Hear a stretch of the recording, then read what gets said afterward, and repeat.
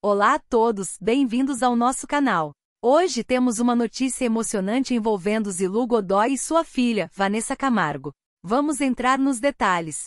Recentemente, Zilu Godoy esteve no Brasil e aproveitou a oportunidade para prestigiar o show de sua filha, Vanessa Camargo, em Sorocaba, no interior de São Paulo, durante o último fim de semana. Zilu, que é empresária e influenciadora, compartilhou um momento especial nos bastidores do evento em seu perfil no Instagram, ela postou uma foto com sua primogênita, Vanessa, e expressou seus sentimentos. Ainda sobre o show de ontem em Sorocaba, da minha princesa Vanessa. Depois de três anos sem ver o show dela, foi uma noite de emoção e a certeza de dever cumprido, disse Zilu. Vanessa Camargo respondeu ao carinho da mãe nos comentários, demonstrando o amor entre elas. Mãezinha, quando você está comigo, eu me sinto capaz de tudo. Que energia, que força e amor sem igual.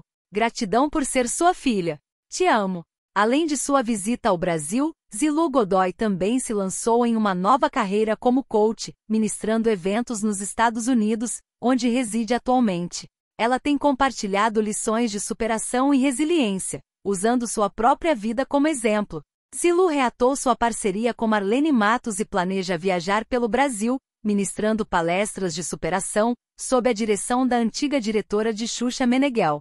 E assim termina esta emocionante notícia envolvendo Zilu Godoy, Vanessa Camargo e a nova fase de Zilu como coach.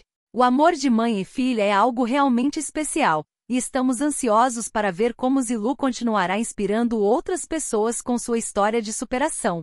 Antes de encerrarmos, convido todos vocês a se inscreverem no nosso canal para não perderem as atualizações sobre notícias emocionantes e inspiradoras. Basta clicar no botão de inscrição abaixo e ativar o sininho de notificações.